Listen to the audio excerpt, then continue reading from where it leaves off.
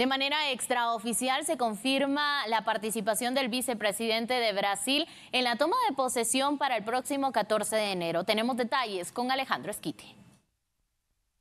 Compañeros en el estudio, gracias por el cambio. Efectivamente, a mis espaldas se encuentran las instalaciones del Aeropuerto Internacional La Aurora, en donde entre el sábado 13 de enero y la mañana del domingo 14 de enero llegarán a nuestro país las delegaciones internacionales para participar en el acto de toma de posesión del gobierno electo para el periodo 2024-2028, encabezado por el presidente Bernardo Arevalo y la vicepresidente Karin Herrera. Es importante mencionar que un una fuente a lo interno del Ministerio de Relaciones Exteriores nos confirmó que a las delegaciones que asistirán ya se ha confirmado la presencia de Geraldo José Rodríguez de Alquim. Él es vicepresidente de Brasil. Él encabezará esta delegación que se suma a las siete que ingresarán por la Fuerza Aérea Guatemalteca, siempre en la zona 13 de la ciudad. El resto la harán por el área de protocolo de esta terminal aérea en el centro de la ciudad. También es importante mencionar que se ha confirmado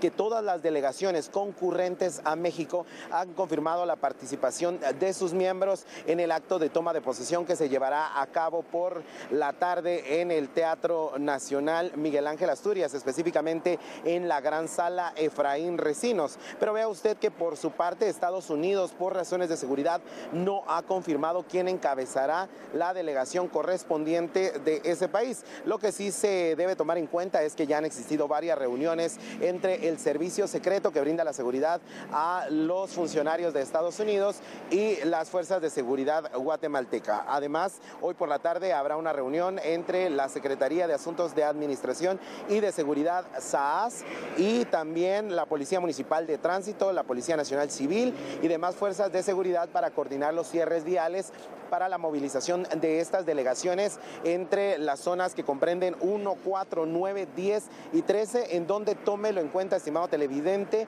habrán cierres viales para este 14 de enero durante se realicen las actividades de la toma de posesión y todos los actos protocolarios pre y post a el acto correspondiente. Al momento han confirmado por parte de España su majestad el rey Felipe VI, los presidentes Andrés Manuel López Obrador de México, Xiomara Castro de Honduras, Rodrigo Chávez de Costa Rica, Laurentino Cortizo de Panamá, Gustavo Petro de Colombia, Daniel Novoa de Ecuador, Santiago Peña de Paraguay y Gabriel Boric de Chile. En el caso particular de Daniel Novoa de Ecuador ante la situación política que impera en ese país, aún se mantiene en pie su asistencia a la toma de posesión, algo que podría cambiar también en los últimos días, dado o en los próximos días, dado lo que ha ocurrido en aquel país y que nosotros también le hemos informado. A este listado se agrega también el primer ministro de Belice, Johnny